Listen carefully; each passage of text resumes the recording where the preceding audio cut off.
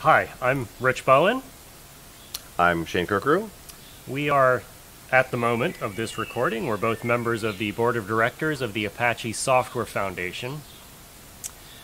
Now, people that have been involved in open source, even folks that have been around open source for a long time, tend to look at Apache as having all of this structure, and it, it's not well understood why we have all this structure. And there's a number of reasons for that, and we'll get into that in some of these later videos. But a question that comes up uh, quite frequently is what does the board of directors of the Apache Software Foundation actually do? So there are nine of us, and our responsibility is to govern the operations of the of the foundation. Now, this doesn't mean getting involved in the individual software projects. Software projects themselves are self-regulating, self-governing. They set their own direction, and the board does not tinker in those decisions. But what we're responsible for is the legal entity of the foundation. This includes everything from finances to legal affairs to marketing, but once again, doesn't touch the technical decisions of the individual projects. The board of directors meets once a month, and at those meetings, we are presented with reports from the individual projects. Now, that may seem to fly in the face of what I just said, but these reports are not generally speaking, about individual technical decisions that are being made, but rather about how the projects are running in ways that are sustaining. Sustainability of our projects is a primary goal of the foundation. So I, I think I can help explain one of the things there is when we say projects, um, often I think people are thinking about, oh, you know, I've downloaded Lucene and this software does great stuff. Uh, how do I configure X? That's the product that's the software product that you're using, which is the reason Apache's here is to make software that's useful. That's what we do. But from our perspective, a project is the community around that software. And the process by which that community is making improvements is hopefully getting together to have a roadmap for a great new version. Uh, so Apache's strength is helping to find, helping to mentor communities to be self-governing and to be uh, open to new contributors over the long haul, even when you know perhaps companies may go in some place that's a different direction, or the technology may be more or less uh, important in daily day to day life. We try to help the communities continue developing the software, or at least maintaining it. Um, so that's the side that the board is looking at in the reports. Really, is is the the community managing themselves as a whole project, as a whole, uh, you know, sort of you could say a division of a, a software corporation. You know, this division makes uh, this software um, that they sell. Are they doing a good job of you know addressing bugs and coming up with new features and um, you know making sure the documentation is working for the new release, things like that. So sorry, go ahead. so our, our, monthly board meetings have, uh, broadly speaking, two parts. In the first part of the meeting, we look at reports from the various officers of the foundation, and these are things such as security, legal, marketing, events, uh, brand, brand management, and and these are about how the the foundation as a legal entity is operating. In the second half of the meeting, as I mentioned, we look at these project reports. We have at the moment around 200 top level projects and they report quarterly. So, as you have already figured out, that means that we have to read 50 to 60 reports each month. And these reports range from a few lines to many pages depending on what's been going on in the project. When you read a project report, what are the top things that you're looking for about the health of this project?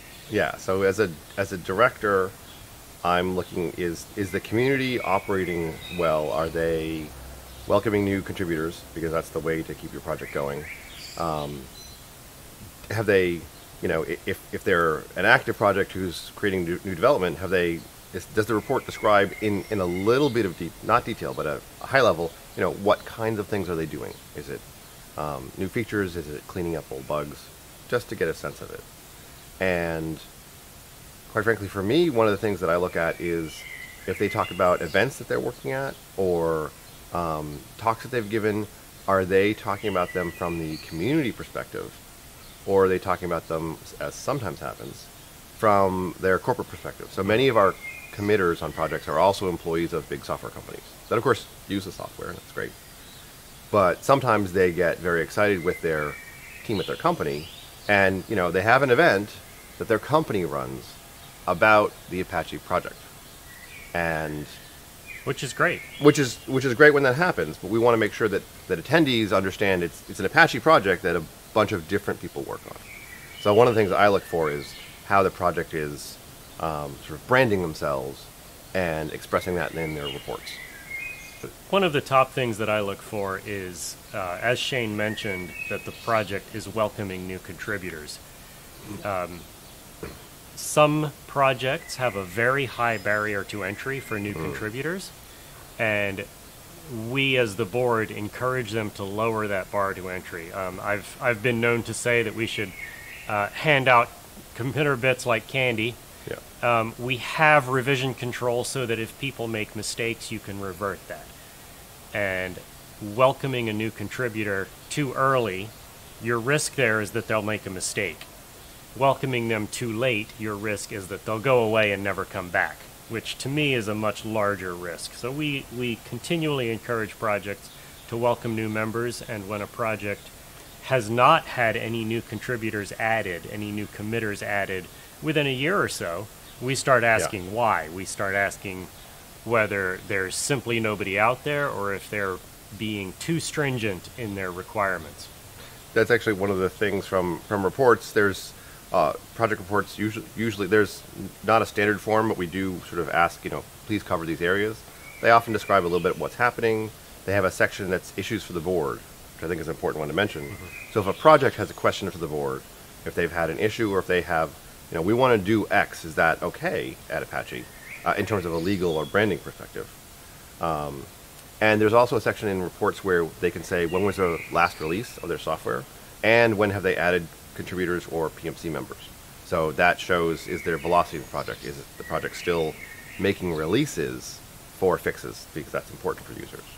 The PMC is the Project Management Committee, and this is a group of individuals that that vote on releases and make other top level decisions about the project. In some projects, this is exactly the same group as the committers. In other projects, those two things are made separate just depending on the preferences of the individual project community. And I think sometimes depending on the scope of the project. So some projects are it's a pretty obvious thing you're working on. Everybody's code would would interact with each other. So there they probably would be the same, the committers and PMC. Like the direction of the project is the direction of everybody's code. And some projects are uh, larger or they're systems that plug in together. And there often it's, you know, you'll make somebody a committer in some of the plugins or some of the specific areas, so they they can control their module, but don't yet um, have a say on the project direction when you release, and on whether or not you you add new committers for the whole project.